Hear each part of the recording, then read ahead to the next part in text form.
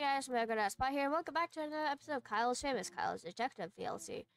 Uh, okay, we just wiped all of Anna's furniture. We reset the case. It was time. Kyle. and then we wiped Kyle removed. Anna. Kyle wiped Anna with the magic wipe. Before she could say anything, Anna was transported to the magic dimension. Suddenly, Kyle felt very unsure about his decisions.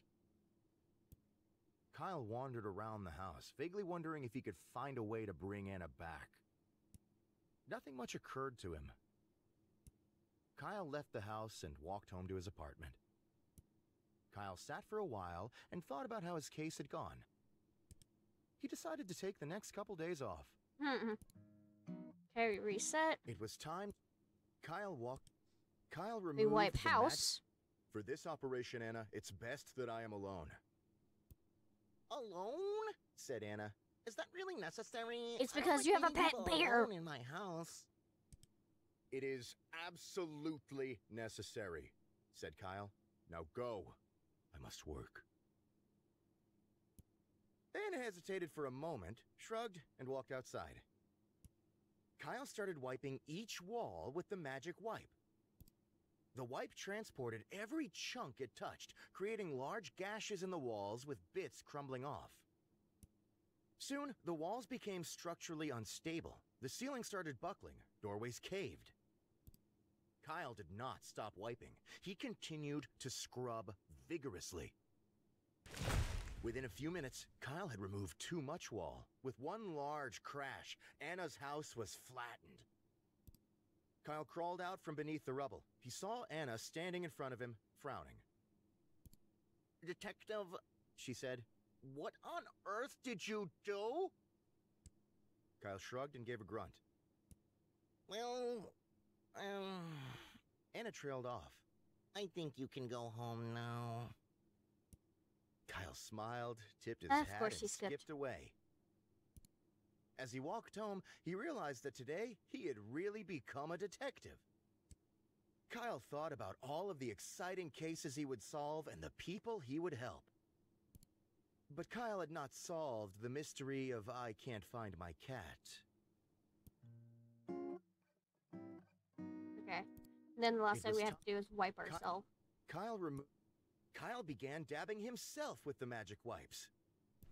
With a fizz, a pop, and a magic elf chuckle, Kyle was transported to the magic It's dimension. always the elves. Kyle looked around him and was amazed. Oh. The magic dimension was full of wondrous things. Oh. Frogs. There's realistic, there's actual frog photos on my screen. Lovely. Toads floated around him, turning inside out one by one as Kyle focused on them. Those are frogs, thank you very much. They're not toads. The ground was firm and slimy. As Kyle stood, he slowly sank lower and lower, as if being slowly eaten. Most importantly, a large clown stood before Kyle, watching him expressionlessly. After several minutes, the clown spoke. Welcome to the magic dimension! I am Harry the Clown! We have known each other in the human realm! Kyle understood that it was his friend Harry that had gone missing years ago. In this realm, said Harry, I reside as the Clown King. The toads you see are my subjects. Oh, is this Harry the corpse rapidly we went on a date with? Harry, said Kyle, I'm a detective now. I can investigate the reason behind the untimely death of the toads. Harry's eyes began to tear. If you could, he said, a great burden would be lifted from my shoulders. Kyle wasted no time in starting his investigation. I like how the area we're in is just called magic. Kyle started by examining the toads that had turned inside out when he arrived. There was not much information to divulge. Kyle decided to move on. Kyle started to investigate the toads that were still alive. It seemed that whenever he looked at one, it would immediately flip around and become inside out. In an effort to divulge any extra information regarding the toads, Kyle tried to examine every toad he could find. One by one, Kyle Oh. destroyed every toad in the entire magic dimension. Eventually, Kyle realized there was nothing else he could do and returned to Harry. Harry, he said, it appears that all of the toads are gone. Thank you, Kyle, said Harry. A great burden has been lifted off my shoulders as there are no toads left to worry about. Now I may live the rest of my days in the magic dimension carefree and happy. For your services, I will return you from whence you came. Harry snapped his fingers. Kyle began to sink into the ground. Lower, lower, and lower he fell. Soon, he was under the ground entirely. and suddenly, Kyle was back in Anna's house, magic wipes in hand. Kyle conducted the investigation with Anna for the remainder of the day, but his mind was with Harry. As the evening came, Kyle and Anna had not made progress on finding her cat. It was decided to try again another day. Kyle left Anna's house with many things on his mind. He thought about Anna's investigation, yes. But Kyle's heart lay in the kingdom of the Clown King. I hated every word of that last sentence. Okay. So that should be the last of the, um... Can't find my cat case. Okay. So I definitely think something really so it's definitely the bear is Anna's cat. The jam man is definitely planing something. In the in the corpse, aka the bear we found, is definitely Anna's cat. I think I already said that multiple times, but my brain's a little bit deep fried. Okay. So next is the bug vigilante endings. Or mysteries, I guess. Kyle woke. Ky- Kyle.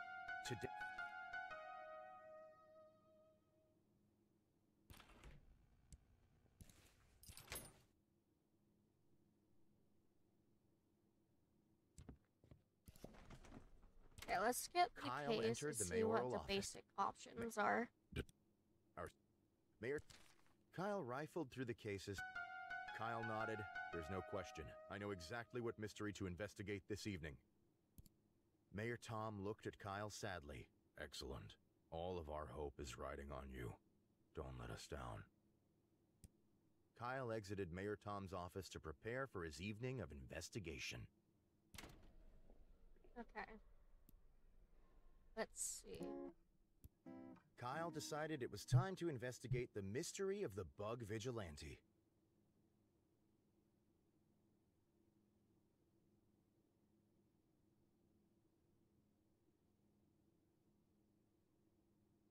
Okay, let's see. Mayor Tom requested that Kyle and Rachel meet him at City Hall to begin their discussion on the bug vigilante. Kyle arrived at the requested time. Mayor Tom sat behind his desk, looking pensively at the wall beside him. Mayor Tom turned around. Good evening, Kyle. Please take a seat. We have much to discuss. Kyle took a seat next to Rachel, who had arrived slightly earlier. She waved her fingers and smiled. Mayor Tom spoke. The Bug Vigilante, a symbol of our city.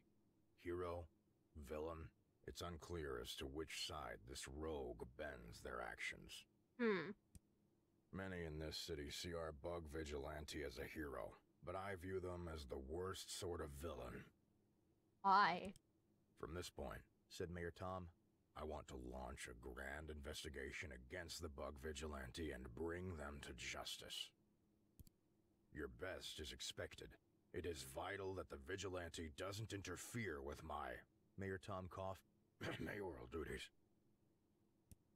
Mayor Tom, said Rachel, what sort of mayoral duties has the Bug Vigilante gotten in the way of before? Mayor Tom froze. Well, um, I think it's more about the potential of what they might get in the way of. Mayor Tom fidgeted in his chair for a little while. Hmm. I'll come back to you. After a while, Mayor Tom spoke again. So are you two gonna do the investigation or what? Kyle and Rachel glanced at each other, then nodded. Excellent. Said Mayor Tom. Detective Rachel, I want you to go out and interview the civilians. Mayor Tom turned to Kyle. Kyle, I will leave it to you to decide what your best course of action will be. Hmm. Rachel got up from her seat and exited the office to start interviewing civilians about the bug vigilante. Kyle thought about what his course of action for the investigation would be. I think I would like to conduct an interview, said Kyle. Mayor Tom nodded knowingly. Allow me to make arrangements to immediately meet with a witness of the bug vigilante. Within a few minutes, Kyle was facing a young man in a ball cap and a leather jacket. Hmm. Hey there, said Kyle. I'm a detective with the city. I'd like to ask you a few questions about the bug vigilante. The young man nodded in understanding. Kyle decided what question he would like to ask the man. Yams? Where can I find the best yams? asked Kyle earnestly. The man looked at Kyle with a blank expression. Then he spoke. I am the best yams! The man's body oh. exploded into hundreds of yams, covering the floor, desk, and walls. Kyle sprang to his feet and started gathering the yams off the floor, tucking them into the folds of his shirt.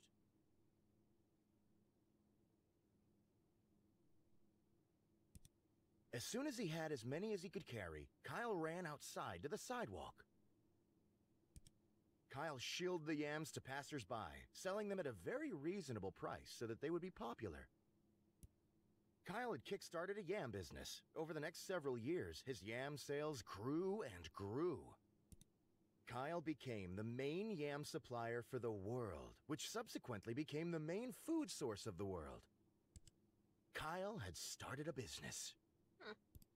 However, Kyle never solved the mystery of the bug vigilante. Huh. Kyle just Kyle thought about what is Hey there. The Kyle decided what question he would like to ask the man. Yo, said Kyle, do you know anything about fishing? The man looked at Kyle blankly. Cause I don't, and I don't really want to know more, but I feel like I should ask you anyway. So let's say that I was interested in catching a five pound bass, but I was in a lot of reeds and didn't want to get my line caught. So I do an overhead cast straight out and try to land like a hundred feet from the boat. Is it better to have two millimeter or three millimeter line? The man continued to stare at Kyle. Then he spoke. Have you tried fishing in the lake to see if you catch the bug vigilante? The two immediately skipped out of the office to go buy fishing supplies. Huh. They sat together at the edge of the lake, catching and collecting many different things from the lake. Kyle started to amass a pile of cheery salesmen and grandparents that had fallen in over a Oh. period of time. The fish were incredibly thankful and promised Kyle to return the favor with baked items and good insurance deals. Huh. Eventually, the duo became tired and decided to call it quits for the evening. They walked home together, laughing about the strange people they had found in the lake and comparing weights. They had not found the bug vigilante, but they had formed a lasting friendship. Kyle had become a fisherman. That's a new one. Okay, we reset, skip to options, we I interview, and Oh, then we ask the last question this man Kyle has. decided. Where did I put my shoes? Dude, where did my shoes go? asked Kyle. He looked at the man with a wandering eye. Aren't you wearing them right now? Are you barefoot? Nope, said Kyle. No shoes. He held his leg up over the desk. There was a shoe on his foot, That's a shoe. said Mayor Tom. False, said Kyle. I cannot see any shoes on my feet. I am not wearing shoes.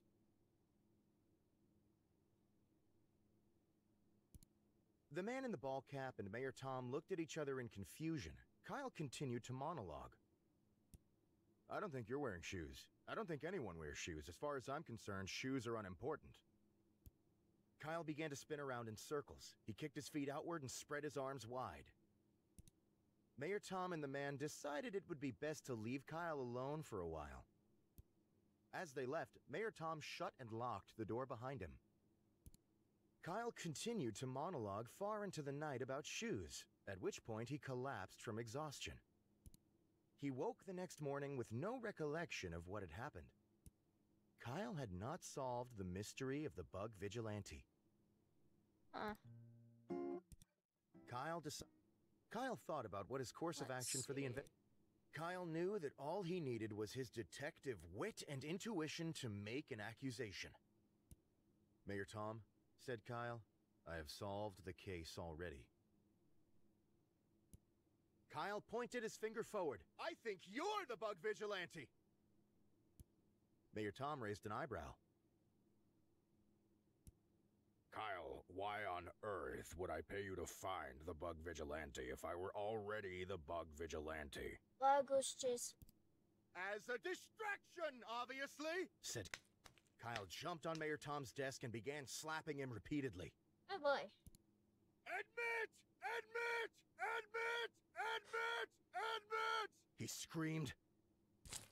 Mayor Tom melted into a jam like substance between Kyle's fingers. Mayor Tom slid behind Kyle and reverted to his normal form. It's Mayor Tom the Jam Man. Mayor Tom grabbed Kyle's hands and pinned them behind his back. There was a silence between the two of them. Then, Mayor Tom spoke. I am not the bug vigilante, for I am the bug vigilante's worst enemy. Mayor Tom struck Kyle with a syringe from his pocket. Kyle sank to the ground, quickly losing consciousness. As he did, Mayor Tom spoke once again. You'll wake up in bed tomorrow and remember nothing of this happening. And Kyle's vision faded to black. The mayor is the Jam Man. Kyle decided. Kyle thought about what. Kyle. Mayor Tom, said Kyle, I have solved the case already. I'm like 50% sure that I'm the bug vigilante. Kyle looked at Mayor Tom earnestly. Mayor Tom looked at Kyle suspiciously. Come on, Mayor Tom, said Kyle. If I weren't the bug vigilante, would I be able to do this? Kyle folded himself in half and crunched his hands into claw shapes.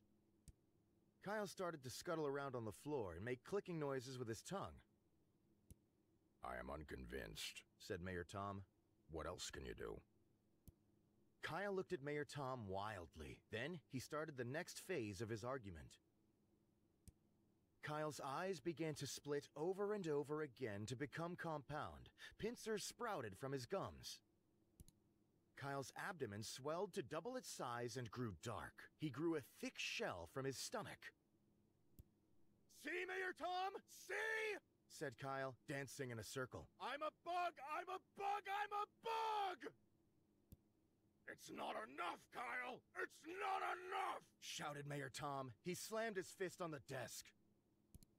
Kyle spent the next several days trying to convince Mayor Tom that he was the bug vigilante. Eventually, Kyle had transformed too much into a bug and was no longer able to speak a human language. Kyle crawled out of City Hall, sad to not be the bug vigilante. After a few days, Kyle returned to being a human. He continued working on other cases for City Hall. The mystery of the bug vigilante was never solved. Hmm. Kyle thought about Kyle. Here's everyone. I think it's best if we just arrest everyone, and then if we do that, we'll definitely arrest the bug vigilante. Mayor Tom started to reply to Kyle, but then stopped. And technically, continued Kyle after a moment, we could count that as a solved case. Hmm. Mayor Tom looked at Kyle with an unreadable expression. Then, after a moment, he spoke. Could be worse. The next morning, Mayor Tom announced Kyle's conclusion to the case. Nobody really much understood, but after a few confusing interviews, the subject was just kind of dropped. Kyle was awarded many accolades for having brought such quick resolution to the city's most pressing case. Blaming everyone became a staple of Kyle's career, Huh. and because everyone was being blamed, everyone became connected. A strange sense of camaraderie gripped the city. Friends were made. Relationships grew closer. Everyone had something to talk about, and such conversation flourished. Unwittingly, Kyle had brought the city together. Huh. Kyle decided. Kyle thought about what his course of see. action for the. In- I want to investigate the scene that the bug vigilante was last sighted at, said Kyle. I understand. said Mayor Tom. Let me make a couple of phone calls. Within an hour, Kyle and Mayor Tom were standing in a crosswalk in the middle of the city, This is where the bug vigilante was last seen, said Mayor Tom. directing traffic when the light burned out. Huh. Mayor Tom began to walk away. I will leave you to your work, detective. Do the city well. Kyle decided how he wanted to conduct his investigation. Talk to passerbys. Kyle decided it would be best to interview some of the passersby to see if they knew about the bug vigilante. After a couple minutes, Kyle spied a young couple that he thought would be able to help him. Kyle stepped in front of the couple, prompting them to stop. He smiled. Are you the bug vigilante? Kyle pointed at the young man. The young man looked confused. Uh, no, he said, glancing away from Kyle. Kyle turned to the girl. Are you the bug vigilante? The girl looked at Kyle with a very concerned expression. Who's the bug vigilante? I don't know, said Kyle. That's why I'm asking you. Who is the bug vigilante? Kyle stopped talking and looked at the couple earnestly. After a moment, the man spoke. Um, maybe he's the bug vigilante. He pointed to a random man walking on the other side of the road. Wordlessly, Kyle sprinted across the street to cross examine his new target. Over the next several hours, Kyle was sent bouncing from person to person. Nobody gave him the answer he was looking for. Hmm. As the day waned, Kyle found that he was just simply worn out socially. Kyle walked home tired and defeated. He thought about the trials of the day and how he had not conquered them. When he arrived at his apartment, however, something was wedged under his door. Kyle knelt and picked up the object, which was a small note emblazoned with a bug shaped insignia. Kyle, it read, I am the bug vigilante. Kyle's shoulders tightened. I know you are searching for me. It seems noble to you. However, be aware that not all is as it seems. Be wary of those around you. Don't take a friendship for granted. Evil strikes when the back is turned. Those might be too big of words for him. P.S. I left you some cookies on your counter. Don't forget garbage is tomorrow. Kyle looked up from the note. His brow was furrowed. Tomorrow, he would continue his case, but he would keep an eye out for trouble coming from other sources. Kyle continued to investigate the mysteries that were around him. Huh. Okay, we'll end that here. Huh. If you guys want to see more, hit that like button. Want to be uh notified whenever I upload. Hit the subscription bu- button and that notification bell. In the description, links my Patreon, Twitch, Twitter, merch stores, all that fun jazz, along the game store page and the game devs page as well. And I will see you guys in the next episode. Hmm.